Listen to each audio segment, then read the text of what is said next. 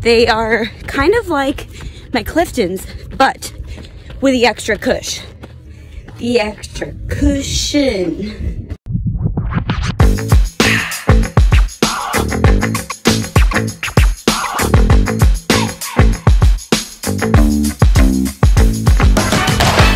Hello everyone and welcome to another episode of Hyped by me, Alison. Hyped by Alison, if you want to say it all together. I hope you all are doing well. We have a fun running related video today. But you know, This video doesn't go fully towards runners because everyone can use this product that is active, that walks, that hikes, and whatnot. before I let you know what it is, don't forget to subscribe to my channel if you haven't already.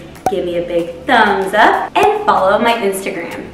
Okay, so let's get into it. The product that we are going to review is a Hoka running shoe. Just to give you a little heads up, we are going to be reviewing two other pairs of Hokas in the next couple weeks. I am lucky to have received three pairs of Hokas from Hoka. I have not ever run in any of those styles. Typically I wear the Cliftons and just to let you know, before I wore Hoka running shoes, specifically of course the Cliftons like I said, I have never loved a pair of running shoes. And now, guess what? I'm in love. I've only worn the Clifton and a couple of the trail shoes, so it was exciting to get three pairs of different shoes. And of course they are all neutral because that is the type of shoe I need. And amazingly, I used to have to wear inserts in all of my running shoes because of my arch, but with Hoka, I have not had any problems not wearing inserts because they are so supportive. The cushion is just amazing and at the same time not too heavy along with the heel drop. That is one of my favorite features and just to explain to you, heel drop is the amount that a shoe drops from the heel to the toe. So high heels have lots of heel drop. Your typical running shoes, like I used to wear Mizuno's, they have a pretty high heel drop which tightens your calves as you can imagine. And the Hoka has about a four or five. So I will be telling you specifically what the heel drop is like for each of these shoes. Today, we have the Kawana. I've done about two or three runs in them because I wanted to kind of get a feel for them on different days and different trails, different roads and whatnot. Wanted to make sure I had a good and dynamic review because every day is not the same when you run and you notice different things on different days depending on how you feel, so on and so forth.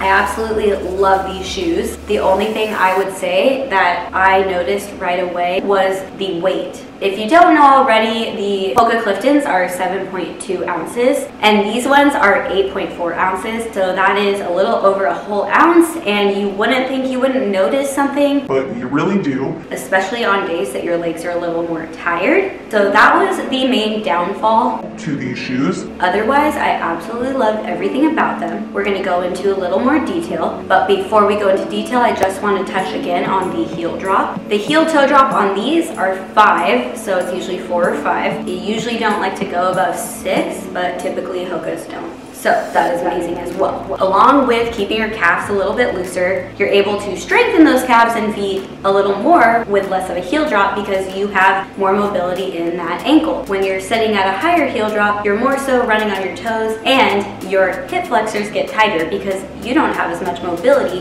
in your hip flexor to push off and have your leg go back. Imagine yourself in heels if you're a guy, imagine on your tiptoes. and when you walk like that, your leg does not extend as far back. So a lower heel drop is amazing because it allows more mobility to your hip and your ankle and your calf, which will eventually make you a better runner. So the Kawana has features that make it inherently more stable. One of these things is a wide base, as you can see, nice wide base, and of course the colors are adorable. And it has Hoka's active foot frame that allows for a moderate amount of stability that will work for mine and whoever else's neutral gait, which I always wear neutral shoes. So I am just gonna throw up the specific measurements on the screen so you can take a look. I have already talked about the heel drop and the weight in ounces, but here you can see the volume and the spring measurement. You can also see the stability level and the amount of cushion. And as you can see, this is plush cushion, which I definitely felt. I would probably wear these shoes on a nice long run because they are so stable, very, very supportive, lots of cushion for a long, long run, especially if it was on the roads. I typically run on trails, which I don't always wear my trail shoes. I typically wear my Clifton and now this one because they are not super technical and I like the extra support. This shoe would specifically work well for the roads and or long runs on the roads. So I really am enjoying these shoes. They are kind of like my Cliftons, but with the extra cush. The extra cushion. They're the perfect width and they just feel amazing. Like they're gonna last for a super long run. I honestly already feel like these are my new favorite Hokas. I am gonna pop up a couple of the features of the shoe on the screen and kind of go through those. So they are vegan, engineered recycled jacquard mesh, not sure if I said that right. They have an extended heel pull, which I loved. Gives you more support in the back. So it has a new lively CMEVA midsole foam. The tread is awesome too. Along with the colors of the tread, you can see it's kind of like, they made it like a swirl. So they have a swallowtail heel geometry, which I had to kind of use my brain to figure that out. And as you can see, it's kind of like, like a tail. And this, I can feel adding extra support, especially for the arch. Not sure if that's what it does, but I feel that it supports the inner part of my foot more because of that extra little tip and an early stage meta rocker. Meta rockers help you to rock through your stride, which allows you to have a better push off. So this has that, which I definitely noticed. And it has a durabrasion rubber, which means it is very, very versatile and you could probably run tons of miles in this because it is so durable, high quality, and of course adorable. So when I looked at the features and benefits, it gave me some more information. I'm gonna pop that up on the screen as well. We already know that it's vegan and it also says designed for training and the gym. So when I think of training, I think of running. So if you're on the treadmill, if you're on the elliptical, if you're lifting, or if you're headed to the gym for some strength training after a run, these are great for that. And it's glide. I definitely felt like I was gliding in these mostly the first time I ran in them because they were brand new and it was just a new experience and I was amazed at how good they felt from the cushion to the meta rocker to how they looked. Felt like I was gliding. So back to the cushion, these have a signature cushion and a very smooth ride. So these come in two color combinations. This one of course, and the other one is mainly black and white. I will pop it up on the screen for you. I prefer this one, but I would always go for black if this wasn't an option.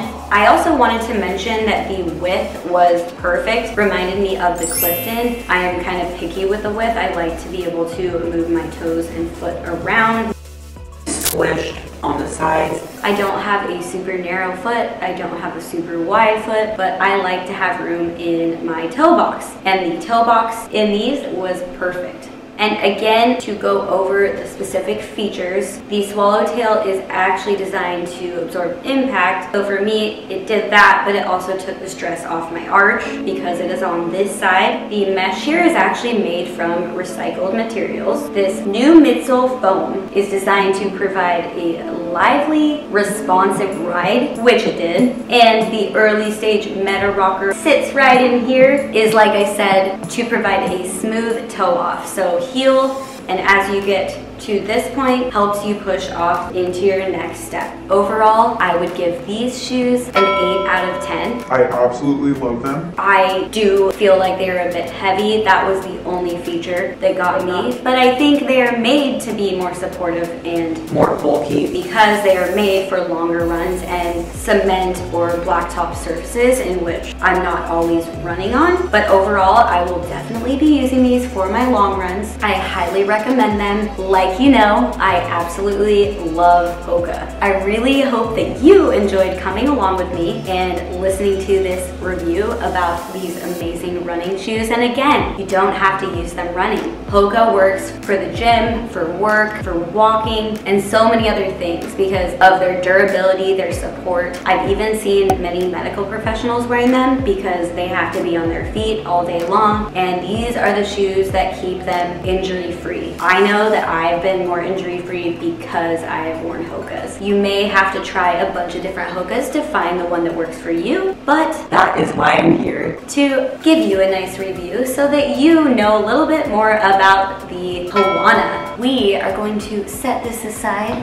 put it back into the box, and we are gonna close out this video. Don't forget that we have two more shoe reviews coming. And if you are interested in Hoka, stay tuned because you will learn a lot and you will be able to decide maybe what shoe would work best for you, or at least get an idea and go try it on. Don't forget, check out Hoka.com, check out their shoes, maybe get another look at the colors, and also subscribe to my channel if you haven't already. Give me a big thumbs up and follow my Instagram. And remember that Hoka's are literally the best running shoes, for me at least, but I was able to convert AJ and my sister to them, and a patient or two. Give them a try because if you find them, they will help you to stay hyped